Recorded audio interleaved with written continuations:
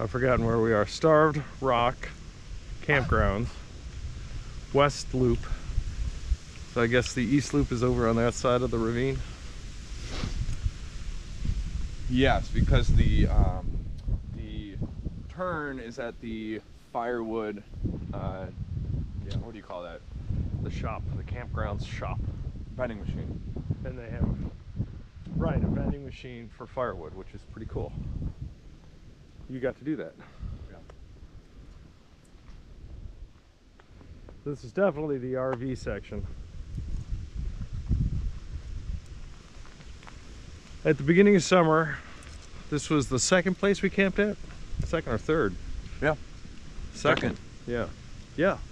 We camped straight ahead here, right at the corner.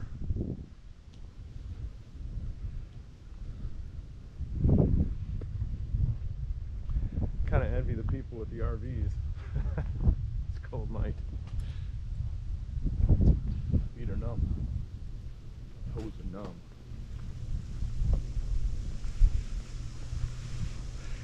Yeah, this is pretty much the whole thing. They got a little playground behind the RV over there.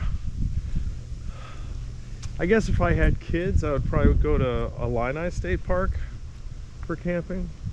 A little more action for the kids. What part are you remembering? Uh, well, the playground, you got the riverfront, you have kind of big fields, Yep. more defined paths.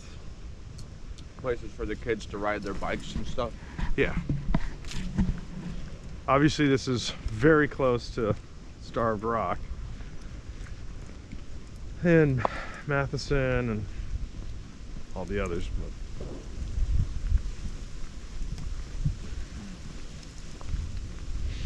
And, well, both Illini and Starved Rock are open year round.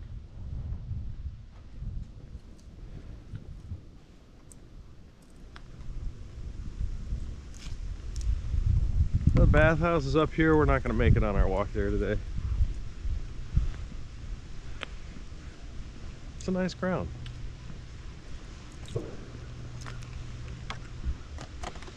These are the 40s over on this side, campsite 40s. All right.